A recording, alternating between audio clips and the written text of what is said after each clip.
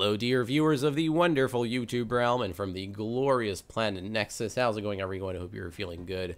I'm Icy Volk, and I am finally back on YouTube. It's been quite a while since I've put out some WildStar videos. Actually, I want to say it's been almost two weeks since I've put out my latest video, which was related to mining, which is not even a major feature of this game. So, I would like to apologize for not putting out solid content as of late. However, I have been more active on Twitch uh, more than anything. I, I've been streaming quite frequently. I've been taking my time to enjoy the launch of the game. And that's also why I haven't been putting out videos, because I have taken a break to get to level 50. Uh, and I've tried doing that as fast as I could, and I, and I couldn't even do that because work and other life excuses, excuses, excuses, and more excuses. But uh, I've also been kind of lazy and I haven't had a lot of ideas as far as what kind of videos I wanted to up upload for uh, that were WildStar related. I did have some video ideas. I did have some videos planned in mind already. Uh, I just haven't had the time to really sit down and record them one by one and I don't know. I just I really wanted to enjoy the launch of the game, the game itself, every aspect of it, and I did that. And I, I've finally gotten to level 50. I've I've actually reached level cap about I want to say three weeks ago, maybe a little bit less. Uh, it was actually on June 24th that I reached level 50, and um, it's been a bit. It's been quite a blast so far. Uh, but that's I, I, let's actually get to the topic of this video. Today i really want to talk about world story instances which are kind of they're game breaking they're fun to do and um, if you don't know world story instances in wildstar are these uh, solo challenging solo quests that take you somewhere else from the open world zones so at level 35, so if you don't know, WildStar's leveling system is pretty traditional. It's not too basic. It, has some kind of innovation to it, especially with the, the different paths available to players and uh, the public events and like the jumping puzzles and all that. Um, it's not that basic, but it is pretty traditional to other types of, uh, to other MMOs uh, that are existing currently.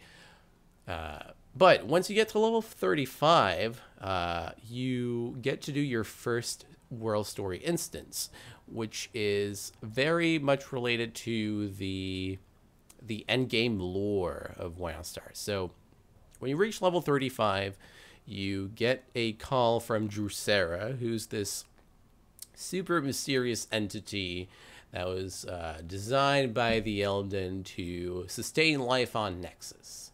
Uh, I'm not going to spoil any more about this because the, the lore in this game is actually pretty damn hardcore. It's fun and it gets even better as you level up. So when you get to level 35, you get your call from Drusera, who is this NPC who will guide you through these world story instances.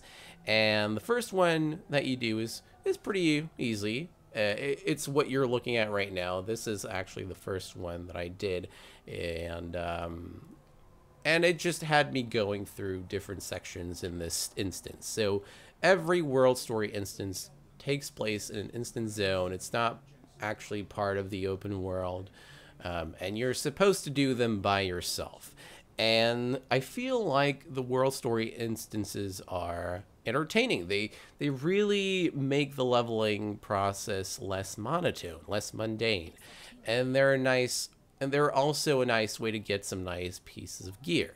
Um, at the end of every world story instance, you get a certain blue that you can pick from. You get a, a few choices for re rewards, and you can pick a, a solid piece of gear, and they're very beneficial. Uh, but those story world story instances are not mandatory. They're optional, um, and they're designed for people who want to learn a lot, a little bit more about the lore and if you do want to, if you do want to get an idea of what the lore is with the with WildStar, then I would really rec recommend doing these world story instances.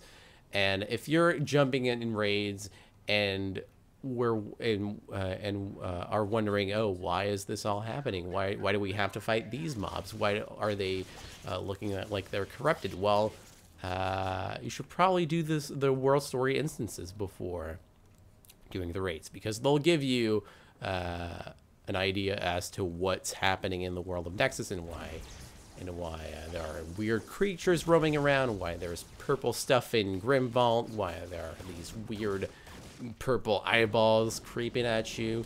There's a lot of interesting lore in Wildstar, and I would like to commend Papulicious for coming up with a great storyline. Uh, but the story world instances are kind of challenging.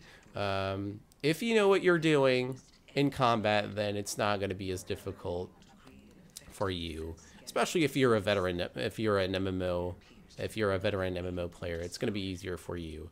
And if you know what you're doing in combat, it's not going to be that difficult. But uh, the the mobs are a little bit tougher than your normal ones that you have to kill uh, for your main quests. So world story instances start at level 35 and you get a new one every, every two or three levels i want to say and they're all different um, they, they they take place in different different locations and the locations are different from each other the first one that i had to do took place in an eldan facility and i had to like collect these elemental parts place them somewhere uh, and uh, bring back some kind of power. I don't exactly remember what was the purpose of that world story instance, but I, I had to investigate this Eldan facility. It was kind of fun. It had like combat involved and some puzzles. And when I was done with that uh, story instance, by the end of it, I learned some really important stuff that was lore related. And uh, I got to know more about Drusera herself what she was made up of and why she was designed by the Eldan.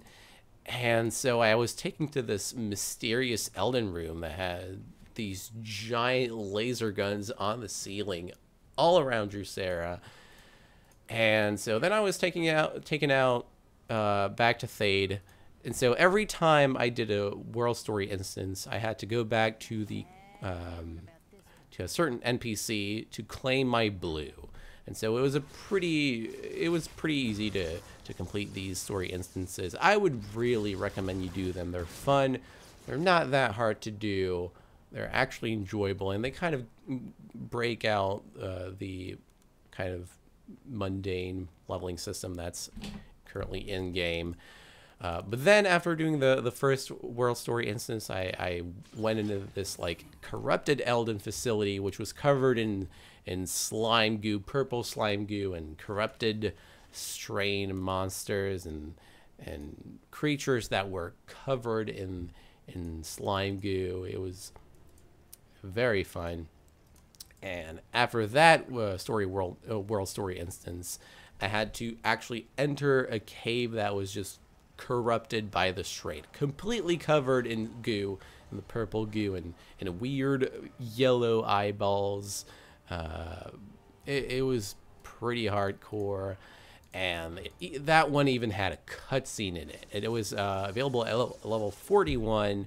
Um, very enjoyable. It had it, it even had like a tower defense type of challenge in it. Not a not a challenge, but like a like an event going on. And I had to do all of this by myself. It was exceptionally entertaining and at level 43 or 42, I did this interesting uh, world story instance that had uh, me building, rebuilding life. Instead of fighting creatures uh, for most of the time, I had to to construct buildings and give life to creatures, and and I had to step into Drusera's shoes, and I had to feel what it was like to be a creator of life and, and, uh, and a uh, protector of the elements. And that was interesting. But the that particular story world world story instance was kind of bugged. I, I had to check out the forums to see how to solve a certain objective. That was uh, a certain objective of this instance. It was kind of frustrating, but I, I managed to uh, complete that. I got that working, and um, after I had uh, brought life to a village, uh, the entity, which is the main antagonist of Wildstar, um, came up from the sky and decided to screw screw my village over with a bunch of corrupted creatures. Basically, he had corrupted everything that I had created. Um, just he ruined everything, and that was that was a bad time for Drusera. She was going insane. She was like, "Do something about this, Icy Volk. Be the hero of time and history and all of that." And so I killed all of these creatures. Unfortunately, I had left my healing gear on. I believe I I had yeah. So I I was barely doing any damage. Oh, and then I could switch gear and I had the, the the whole issue resolved. I I could finally do decent amounts of damage. But anyway, uh, the the world story instances are are very cool. Um, they're nothing like I haven't really seen before.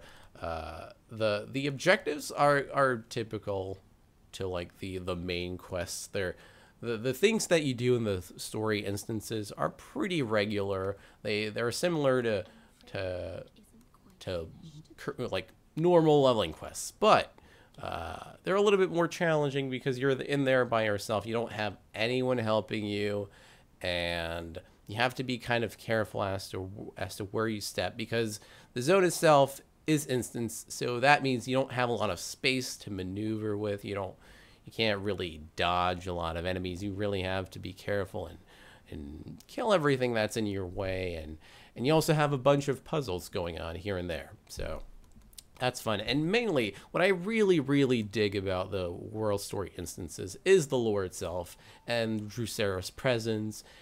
And I did, and I and I feel like the lore is presented in a really good way in the world story instances. So I'm really glad that the developers came up with these instances, these these lore-based scenarios um, that take you from the regular leveling process, and they they force you to enjoy the the game and its story and its and its art and all of that. So you don't just play the game uh, for fun. You don't look at the game as just any other MMO and go like, oh, I'm gonna get to level 50, get my gear, I'm gonna do some raids. I'm not gonna care about the game itself. I'm just gonna play with my buddies and and try to become the best of the best. No, no, no, no. With the world story instances, you feel like you're actually listening, eh, like you're paying attention to the lore, and and you feel like you're enjoying the music and the visuals and all that. So it it does feel more. Uh, you you feel the RPG aspect in those story world instances. So that's me. That's all I wanted to talk about for today.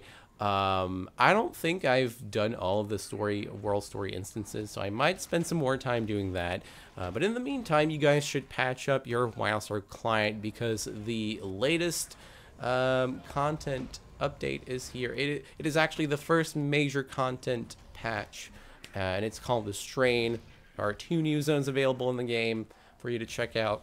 And uh, I believe in the upcoming content patch, we should have a new battleground. So that sounds interesting. Uh, but yeah, down patch up your client because you've got new zones to discover. Uh, the new zones are actually new daily quest hubs.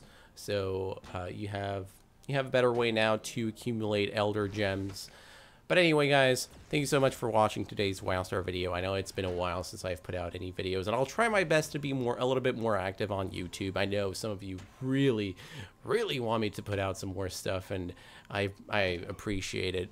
Um, and if you want to see me play the game itself, don't forget to check to check over check out wow i can't talk yeah i can't talk because it's blazing hot today it's actually oh it's so humid i can't stand humidity. But anyway, if you if you would like to see me play Wildstar, I recommend you uh, follow twitch.tv slash icyshards. That's where I stream. Um, uh, I stream pretty frequently. Anyway, thank you guys for watching. I'll see you soon. Goodbye.